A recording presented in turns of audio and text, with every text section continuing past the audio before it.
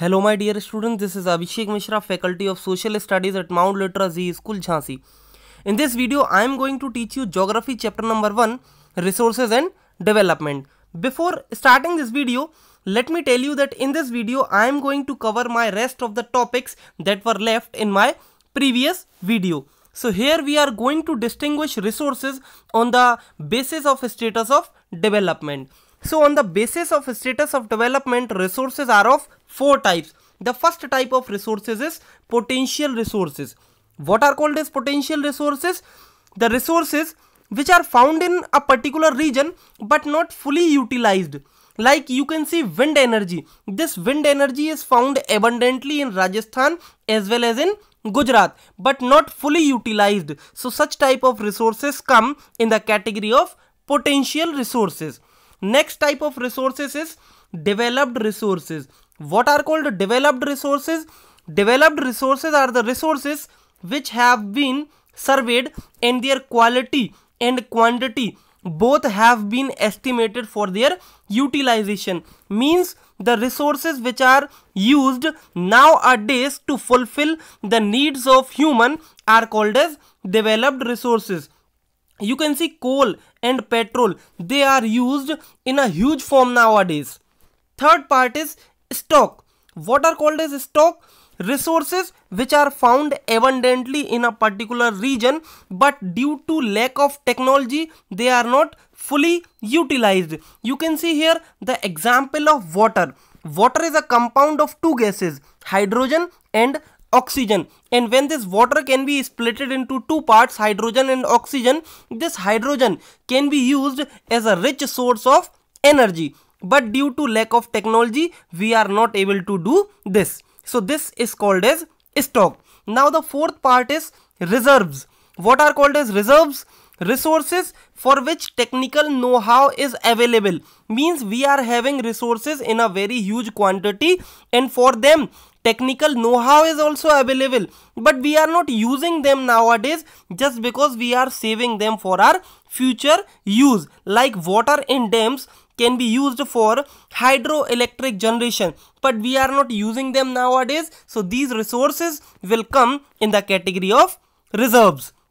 Now the next part of this video is development of resources how the development of resources should be done as you very well know that resources are the free gifts of nature and they are vital for human survival. But indiscriminate use of resources will leads to the following problems like there will be depletion of resources. Mean means resources will be no more for human use second is accumulation of resources in few hands will create a wide gap between rich and poor.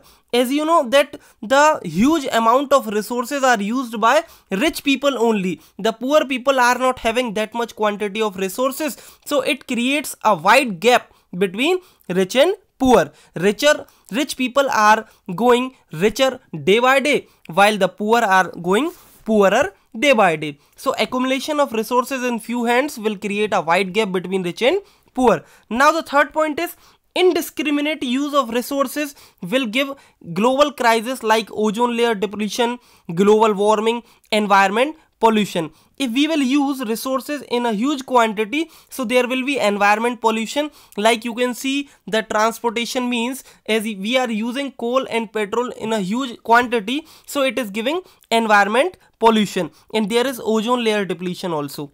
Global temperature is also increasing day by day. So indiscriminate use of resources can give resulted uh, to such kind of problems.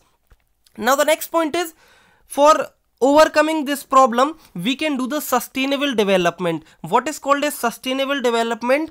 Sustainable development means the development of resources should be done without harming the environment. Means the development should be eco-friendly. When resources will be developed in a eco-friendly way and it will satisfy the needs of present generation and we will use them for future generation also so that will be called as sustainable development and to achieve this sustainable development an earth summit was done in 1992 at rio de janeiro brazil So in Brazil, Rio de Janeiro Earth Summit was conducted by the delegates of 100 countries to achieve the sustainable development and to eliminate some global problems. Agenda 21 was also adopted adopted like poverty, health, pollution. So these are the problems that are growing by leaps and bounds nowadays and to achieve the sustainable uh, sustainable development and to eliminate such kind of problems. Rio de Janeiro Earth Summit was done so here are the topics in this video rest of the topics will be covered in my next video till then thank you